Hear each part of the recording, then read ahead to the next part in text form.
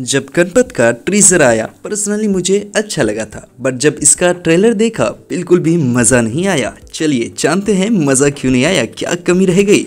Hello दोस्तों, मैं हूँ मासूम। एक और रिव्यू वीडियो में आपका स्वागत है।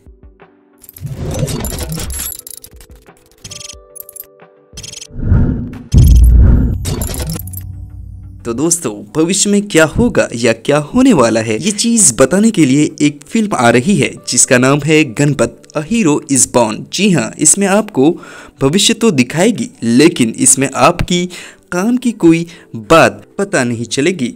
देखने को मिलेगा एक कहानी जिसमें आपको फ्यूचर सेटअप दिखाया जाएगा, जो कि आप कहीं ना कहीं देख चुके हैं, जो देखने में कुछ भी नया नहीं होगा। और ट्रेलर की शुरुआत होती है एक विजुअल इफ़ेक्ट से। आपको देख के लगेगा फ्यूचर का सेटअप है, मगर इफ़ेक्ट खुद पास्ट के क्वालिटी का लगता है। ऐसा इफ़ेक्ट जिसे देखकर आपको लगेगा आदि पुरुष के विजुअल इफ़ेक्ट इसके इफ़ेक्ट से बढ़िया ही लगेगा। अब आगे ट्रेलर में हीरो का अनाउंसमेंट हो रहा है। जब वो आएगा, मरेगा नहीं, मारेगा।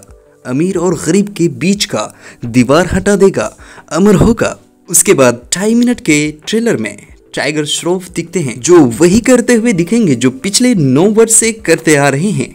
ब्रेक डांस मार्शल आर्ट और सिक्स पैक ऐप जो नहीं किया, वो एक्टिंग है और उनके अपोजिट हैं कृति सेनन, जिनका ट्रेलर में लिमिटेड टाइम दिया गया है। और ऐसा लगता है कि पिक्चर में उनका काम लिमिटेड ही दिखेगा और ट्रेलर में अमिताभ बच्चन भी दिख रहे हैं, जो प्लॉट ट्विस्ट बताने आए हैं कि उनके खेल की खबर विलन को लग गई है, जिसके लिए पैसे के अलावा और कुछ मायने नहीं रखता। और ट्रेलर में एक ट्विस्ट ये आया है कि टाइगर श्रॉफ का डबल रोल है।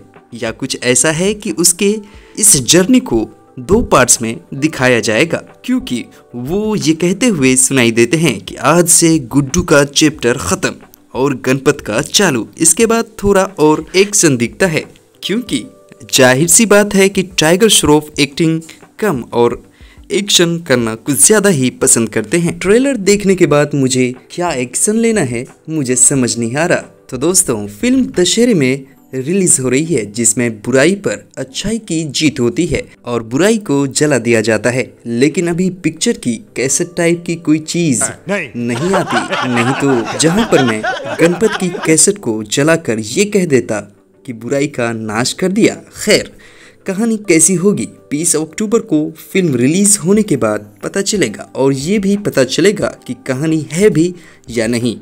आपको ट्रेलर कैसा लगा कमेंट सेक्शन में ज़रूर बताइएगा। और ऐसे ही मूवीज़ अपडेट को जानने के लिए चैनल को सब्सक्राइब भी कर दीजिएगा। मिलते हैं नेक्स्ट वीडियो में। Thanks for watching thank you